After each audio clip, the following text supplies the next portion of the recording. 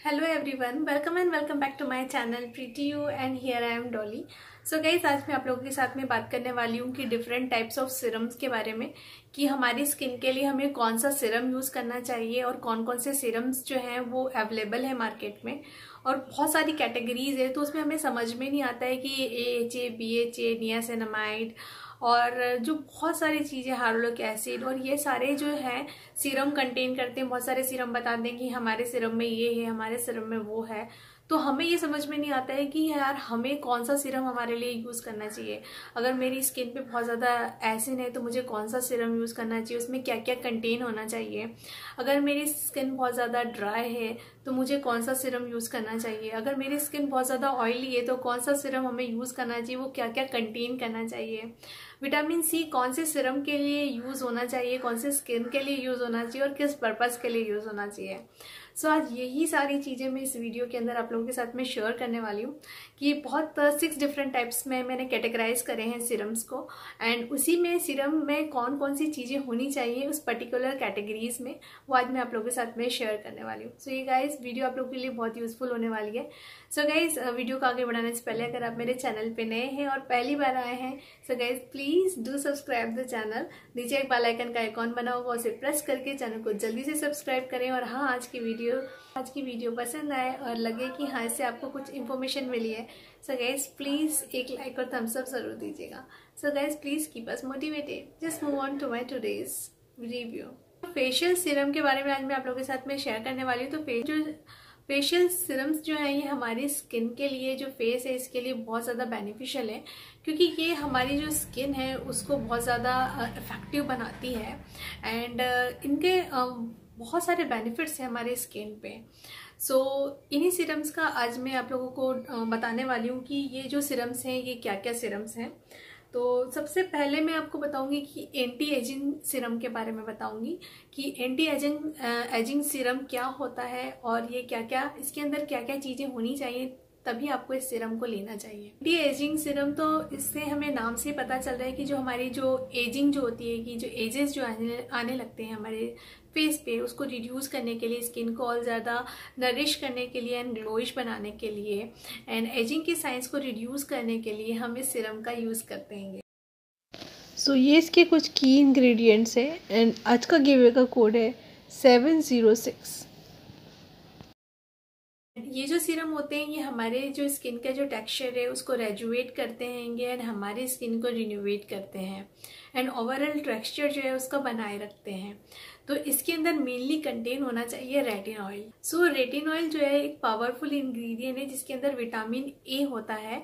And ये anti ageing का सबसे बड़ा जो है, एक हम बोलेंगे सबसे पावरफुल इंग्रेडिएंट है ये एंटी एजिंग के लिए. तो आपके अगर सिरम के अंदर रेटिन ऑयल कंटेन है एंड विटामिन जो कि विटामिन ए कंटेन करता है। अगर वो कंटेन करता है तो वो मेन इंग्रेडिएंट है किसी भी एंटी एजिंग सिरम का। एंटी एजिंग सिरम हमेशा जो आप यूज़ करते करते हैं ना, उसको हमेशा नाइट टाइम के लिए आप यूज़ करते हैं। उसे कभी भी डे टाइम में हम लोग यूज़ नहीं करते हैं। क्योंकि रात में हमारी जो स्किन है, वो रिप्लानिश होती है कि रिजुवेट होती है। तो जो भी डेड सेल्स वगैरह होते हैं, जो स्किन होती है, इसमें वर्क जो चालू होता है, वो हमारे नाइट टाइम पे ही होता है। तो इसलिए ये जो सीरम है, वो हमेशा हम लोग मेनली नाइट टाइम पे ही यूज़ करते हैं। सो so, अभी इनके अंदर और क्या क्या इंग्रेडिएंट्स होने चाहिए? तो इसके अंदर होना चाहिए ग्रैप सीड्स हो सक अगर हैं तो वो बहुत ज़्यादा बेनिफिशियल इंग्रेडिएंट होगा। विटामिन सी बहुत ज़्यादा इंग्रेडिएंट है स्पेशल इंग्रेडिएंट है अगर एंटी एजिंग के लिए अगर आप कुछ यूज़ कर। एंड ए एच ए ज़रूर होना चाहिए that is the alpha hydroxy acid तो ये सारे इंग्रेडिएंट्स जो है वो ज़रूर होने चाहिए आपके सीरम में। अगर आपका जो सीरम है आपको और आपको एंटी एजिंग के लिए कोई सीरम चाहिए तो हम बात करते हैं स्किन ब्राइटनिंग सीरम की तो ये हमेशा हम लोगों को लगता है कि यार हमारी जो स्किन है वो बहुत ज़्यादा डल है, बिल्कुल ब्राइट नहीं है, बिल्कुल इल्यूमिनेट नहीं करती है। तो स्किन ब्राइटनिंग सीरम जो है, जो स्पॉट्स है, उसको भी रिमूव करती है स्किन को बिल्कुल फ्लॉइश बनाती है। स्किन का टेक्सचर को इवन रखती है। एंड हाइपर पिगमेंटेशन की जो प्रॉब्लम होती है कि उसको भी रिड्यूस करती है। सो so, जो ग्रीन टी के जो इंग्रेडिएंट्स होते हैं जो ग्रीन टी का जो रेंज होती है ना सीरम की जो ग्रीन टी रेंज होती है वो ज़रूर आप अगर आपको स्क्रीन ब्राइटनिंग के लिए लेना है तो ग्रीन टी का ज़रूर लीजिएगा जिसमें ग्रीन टी इंग्रेडिएंट ज़रूर हो। इसमें विटामिन सी हो विटामिन ई e हो और विटामिन ई e जो है वो आपकी स्किन के लिए एक एंटीऑक्सीडेंट्स का काम करती हैं जो आपकी जो स्किन है उसमें जो डलनेस है उसको रिड्यूस करेगी जो स्पॉट्स है उसको भी रिड्यूस करेगी। तो विटामिन सी और विटामिन ई e जो है वो बिल्कुल ज़रूरी होना चाहिए अगर आप एक ब्राइटनिंग सीरम ले रहे हैं तो। एंड विटामिन सी जो है वो आपकी जो स्किन है उसको जो टेक्सचर है उसको भी इवन बनाती है ये हार्मफुल अल्ट्रा यूवी रे से जो आपकी जो स्किन है वो डल हो जाती है पॉल्यूशन से डल हो जाती है तो उससे भी वो आपकी जो स्किन है वो उसको और इन्हेंस करती है सो so, इसलिए vitamin E and vitamin C एक एंटीऑक्सीडेंट्स का काम करेंगे तो ये सिरम में ज़रूर होने चाहिए। एसिन फाइटनिंग सिरम सो एसिन फाइटनिंग सिरम्स जो होते हैं जो हमारे जो स्किन पे बहुत ज़्यादा एसिन होते हैं तो उस प्रॉब्लम से हमको काफ़ी रिलीफ दिलाती है क्योंकि हमारे स्किन के बहुत सारे जो पोर्स हैं, वो बहुत ओपन हो जाते हैं। इसके कारण जो डस्ट डट और पॉल्यूशन जो जब हमारी स्किन पे लगता है तो वो एकदम से किस फॉर्म में आ जाता है? एक एसिन के फॉर्म में बाहर निकलता है।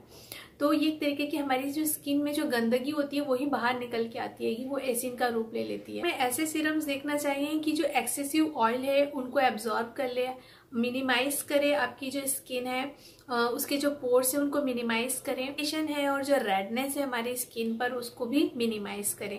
तो हमें कुछ ऐसे सीरम चाहिए रहते हैं एसिन प्रोनिस सो so, इसके लिए हमें चाहिए रहते हैं salicylic acid A H A that is the alpha hydroxy acid B H A होना चाहिए that is the beta hydroxy acid and botanical extract जैसे कि ग्रीन टी हो सकता है टी ट्री हो सकता है कुकुम्बर हो सकता है ये सारे इंग्रेडिएंट्स इसमें हो सकते हैं।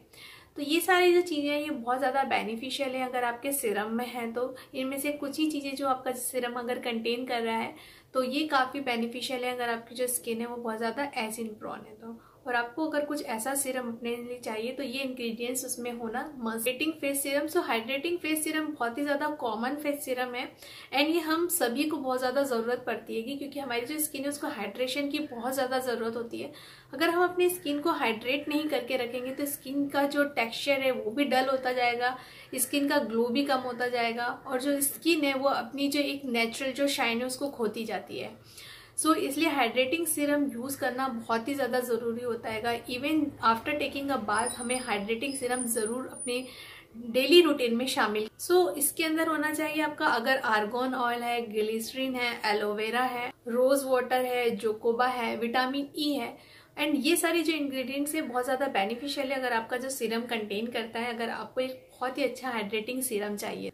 नेक्स्ट आता है हमारा एक्सफोलाइटिंग सीरम सो एक्सफोलेटिंग सीरम क्या होता है? जो आपकी जो स्किन है उसको एक्सफोलेट कर सो so, ये हमारी स्किन जो है सन से डैमेज हो जाती है जो ब्लेमिशेस आ रहे हैं हमारे स्किन पे। एंड स्किन uh, को स्मूथ बनाता है। स्किन का जो टोन है टेक्सचर है उसको इवन रखता है। नेचुरल एजिंग की जो प्रॉब्लम है उसको भी रिड्यूस करता है। सो so, uh, इसके अंदर मेन इंग्रेडिएंट्स क्या क्या होने चाहिए? इसके अंदर होना चाहिए हारोलिक एसिड होना चाहिए ग्लिसरीन होना चाहिए lactic acid glycolic acid fruit extract, citric acid so ये सारे इंग्रेडिएंट्स इसके अंदर होने चाहिए, जिससे कि आपका जो स्किन है, उस, वो प्रॉपर एक एक्सफोलेशन प्रोवाइड करता है, और ये जो सीरम है, ये आपकी स्किन के लिए काफ़ी बेनिफिशियल रहता है। तो इसके अंदर मेन इंग्रेडिएंट्स होने चाहिए ग्रीन टी होना चाहिए रोज वाटर होना चाहिए essential oils antioxidants and retinol and omega three fatty acid so ये सारे इंग्रेडिएंट्स होना बहुत ज़्यादा ज़रूरी है। अगर आपको कोई ऐसा सीरम चाहिए जो आपकी स्किन को रिनोवेट भी करे और रेजुवेट भी करे। सो so गाइज़ ये थी मेरी आज की video so guys I hope मेरी वीडियो काफ़ी हेल्पफुल रही होगी आप लोगों के लिए. सो गाइज़ प्लीज़ जाने से पहले चैनल को सब्सक्राइब ज़रूर करिएगा अगर नहीं किया है तो। एंड वीडियो को लाइक ज़रूर करिएगा अगर पसंद आई हो तो। So guys please so guys मेरे चैनल पे अभी चल रहा है गिव अवे सो आप भी उसमें पार्टिसिपेट कर सकते हैं। एंड आज का जो गिव अवे का कोड है, वो है seven eight zero so guys stay tune stay connected be happy be healthy thanks for watching bye bye